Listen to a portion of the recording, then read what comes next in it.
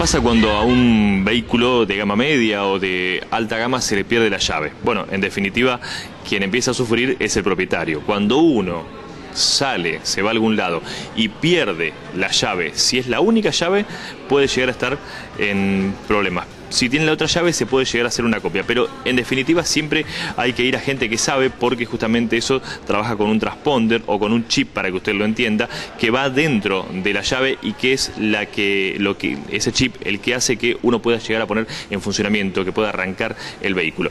¿Quién nos explica eh, justamente cómo trabajan las llaves y cómo se hacen las copias de estas llaves es Juan Manuel, ¿sí? de una reconocida cerrajería automotor de Mar del Plata. Eh, lo que yo te preparé hoy es como para que el televidente eh, vea qué es lo que le podría llegar a pasar si pierde la única llave que tiene. Bien.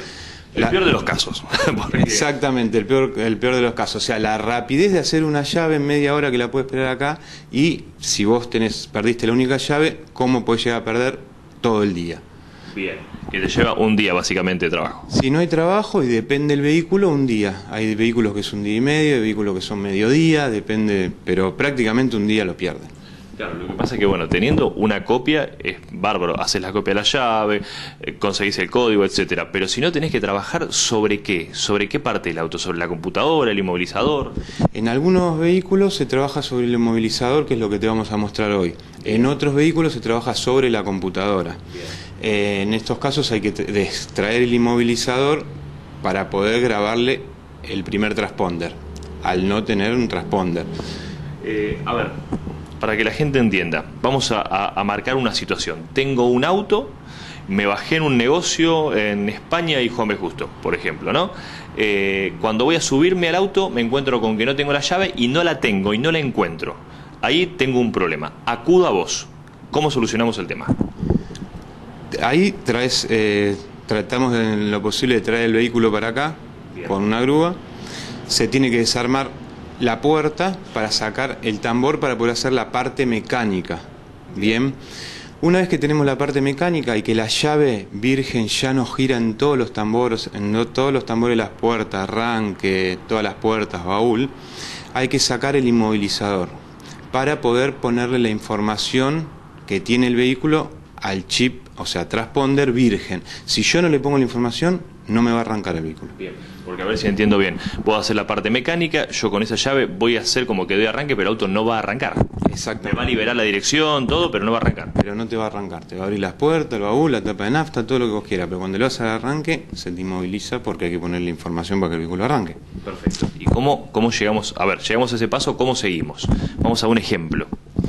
Bueno, ahí ya le sacamos el, el inmovilizador, que en este caso acá tenés una, un palio, por ejemplo, se le saca el inmovilizador, se le, se le, acá se le conectan los cables para extraerle la información. En el chip virgen, en este caso del palio. Entonces lo que se hace acá es lo siguiente. Una vez que ya hiciste la parte mecánica de la llave, se le saca el inmovilizador, se conectan los cables, estos cables van a este escáner y este escáner, como vemos, va a la cubeta a donde nosotros tenemos que poner el chip adentro de la llave, cerramos la llave y ponemos la llave acá. Entonces acá apretamos y nos está mandando la información de este vehículo. Vuelvo a apretar, me pone cuántas llaves tiene grabada, le, le, grabo otra llave más y ahí yo ya le grabo la información. Bien. Esto en el caso de Fiat de Palio, ¿no? Bien, perfecto. Este es un ejemplo en el caso de, Fiat. Eh, yo sacando la llave de ahí, si yo ahora saco la llave, ya el auto me va a arrancar. Exactamente, exactamente. Previamente, sacando esto, grabando, eh, soldando los cables en el inmovilizador y trayendo la información acá para que de acá nos la graben el chip de la, de la llave. Un trabajito bastante técnico y con mucha tecnología. Exactamente, exactamente. Y saber bien cómo hay que hacerlo, ¿no? Primordialmente. Coméntame, este es un inmovilizador. ¿Y los que tenés atrás tuyo también son inmovilizadores? Esto también es un inmovilizador. En este caso acá, como para mostrarte, te sacamos algo que esto es de polo, por ejemplo. Eh, es un poquito más complejo, aunque sea de polo Esto es el, el inmovilizador de polo. Acá en este caso, nosotros lo que hicimos es sacarlo, ¿no? Y no tiene el código como acá. Esto se le saca esta memoria que está acá y se pone acá. O sea, esta que sacamos de acá, nosotros la ponemos acá. Esto es un calculador. Bien. Se pone la memoria acá, en este calculador. Se enchufa acá. Se hace una serie de procedimientos en la computadora para que nos traiga este número. Perfecto. Una vez que nosotros tenemos este número, Sí. grabamos el chip, ponemos el chip en la llave y lo ponemos en esta máquina. Y ahí tenemos la opción de ya sacar el chip listo para arrancar. Bien. Yo de esta manera, ya habiendo hecho la parte mecánica de la llave, saco el chip listo para poderle dar arranque al auto. Perfecto. Bien. Todo esto lleva demasiado tiempo porque vos calculás que es una memoria de muchísimas patas. Todo esto hay que desoldarlo. O sea, Pero no hay otra posibilidad, es decir, se hace así o así. Exactamente porque yo lo que tengo que extraer es este código. Bien, perfecto. Bien.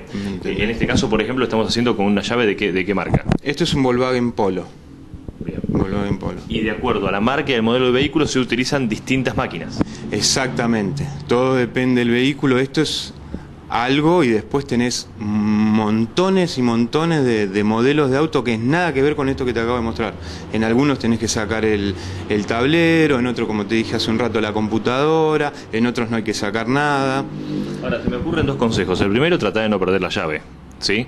Y el segundo, eh, no lo dejes en manos de cualquiera, porque cuando uno ve la tecnología con la que hay que trabajar para este tipo de situaciones, bueno, eh, básicamente estamos trabajando con el corazón del auto. Totalmente. Yo acá te saco mal esta memoria o la sueldo mal o se me quema algo, yo esto lo tengo que comprar nuevo. Bien, perfecto, no queda otra. No queda otra. Y después esto lo tengo que eh, com- eh, poner con la computadora a bordo para emparejarlo los dos. Estamos hablando de otra plata y de otro tiempo. Bien, es decir, que eh, se me queda, por eso es que se entiende ahora cuando vos me decías, me lleva todo un día si hay poco trabajo. Es decir, hay que desarmar el auto, bueno, justamente conseguir los códigos y después verificar que todo funcione correctamente. Exactamente. Una vez que esto, yo te sueldo esto, o alguno de los chicos te suelda esto, no significa que yo voy al auto, lo enchufo y ya me arranca. Muchas veces pasa que le vas a dar arranque y no arranca el auto. Debe haber quedado mal soldada alguna pata, entonces hay que sacarlo, volverlo a desoldar, limpiar la superficie, volverla a colocar, volver a ir al auto, y ahí, bueno, Minucioso trabajo. es un trabajo muy minucioso. Y por ejemplo, a ver, ya me meto un poquito más en, en el trabajo de ustedes y te pregunto, sale un modelo nuevo, ¿sí? Un auto nuevo o se puede llegar a, a presentar la situación de un vehículo importado, de los cuales hay pocos en, en Mar del Plata. ¿Se consigue o se le puede llegar a hacer la llave a todos? ¿Se consiguen distintos... eh, ¿qué, qué es lo que se necesita? ¿Un software nuevo? Bueno, eh, me hiciste una buena pregunta. Eh, ahora, por ejemplo, recién la Amarok salió en el 2009, más o menos, 2010, si mi memoria no me falla. Sí. Recién ahora podemos hacer lo que es el tema Amarok, porque los ingenieros que trabajan con uno de nuestros escáneres, recién ahora le pudieron encontrar la vuelta como para que el cerrajero pueda hacer ese, esa llave. Nosotros, ¿qué tenemos que hacer? Comprarle el software a la empresa que nos vende el escáner para poder hacerlo. En este caso, Amarok. Tenemos también, por ejemplo, el Fiesta Kinectic, que también hay que comprar otro software más para poder hacer la llave del Fiesta Kinectic. Las de Amarok se pueden hacer, ya están, es un software nuevo que compramos. Eh, creo que si no somos los únicos en Mar del Plata que estamos haciendo llaves de Amarok, andamos por ahí. Y ya la semana que viene ya nos están por entregar, por ejemplo, el software nuevo para lo que es Fiesta Kinectic. Bien. Y Focus nuevo, toda la línea de Cospor nueva. Bien, es, es para tener en cuenta, sabemos que si no, no queda otra que pedir una copia fábrica, tarda su tiempo, muchas veces tenemos que dejar el auto parado y aparte los costos son otros. Por eso, aquel que se quiere comunicar porque o, está teniendo un problema de esto, o si no, como dije la otra vez, me parece, es un número el tuyo para tener en, la billetera, porque uno, nunca quiere perder nada, pero cuando lo pierde se, acuerda. ¿Cómo se comunica con ustedes? Y nosotros eh, nos pueden llamar al 482-7370. Ese teléfono siempre va a estar, te va a atender alguien las 24 horas. Eh, o dirigirse acá más bien al Juan B. Justo, 4576 de 8 a 12 y media, de 15 a 19 y sábados de 9 a 1. Ya sea para, para cualquier consulta sin ningún tipo de compromiso. Sin ningún compromiso, no hay ningún problema, se vienen, nos preguntan, nos llaman las veces que sea necesario, nosotros estamos para atenderlos, no hay ningún problema. Bien. En Cerrajerías JMJ y, Juan Manuel que está hablando con nosotros, eh, ante todo, gracias por tu tiempo, por el tiempo que les llevó armar todo esto, pero me parece que son cosas que es importante que los televidentes vayan conociendo. Exactamente, la verdad que sí, porque mucha gente no sabe lo que tiene dentro la llave. Gracias. No, por favor, gracias a vos.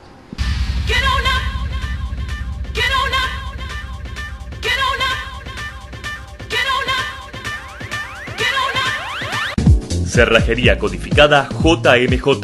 Autos, motos, llaves codificadas nacionales e importadas. JMJ, su cerrajería de confianza. Juan Bejusto 4576, teléfono 482 7370.